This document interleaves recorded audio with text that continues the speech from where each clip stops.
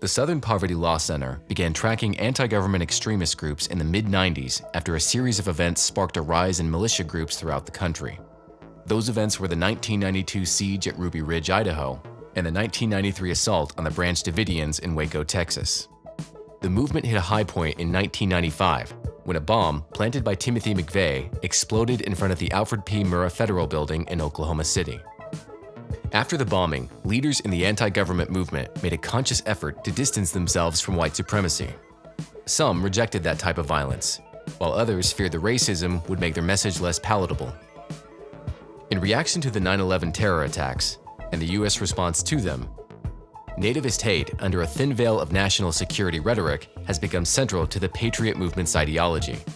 After the election of the first African American president in 2008, a new wave of anti-government extremism was born, with groups like the Oath Keepers, the 3% Movement, and the Lightfoot Militia.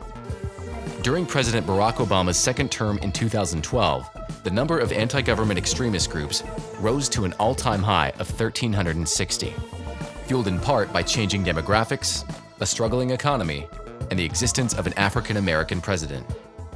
The movement was again in the national spotlight in 2014, when the Oath Keepers, Three Percenters, and others supported Nevada cattle rancher Cliven Bundy during his family's standoff with the Bureau of Land Management over grazing rights.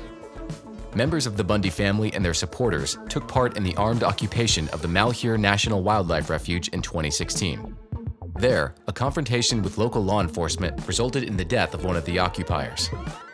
That same year, three members of the militia group the Crusaders were arrested in Garden City, Kansas, after the FBI obtained details of a bombing plot aimed at Somali and Muslim communities. The attack was planned to devastate a housing complex with hundreds of residents. Had the FBI not thwarted it, the death toll may have rivaled that of the Oklahoma City bombing. Violent plots, like the one in Garden City, may become more frequent as anti-government extremists continue to use the internet to facilitate.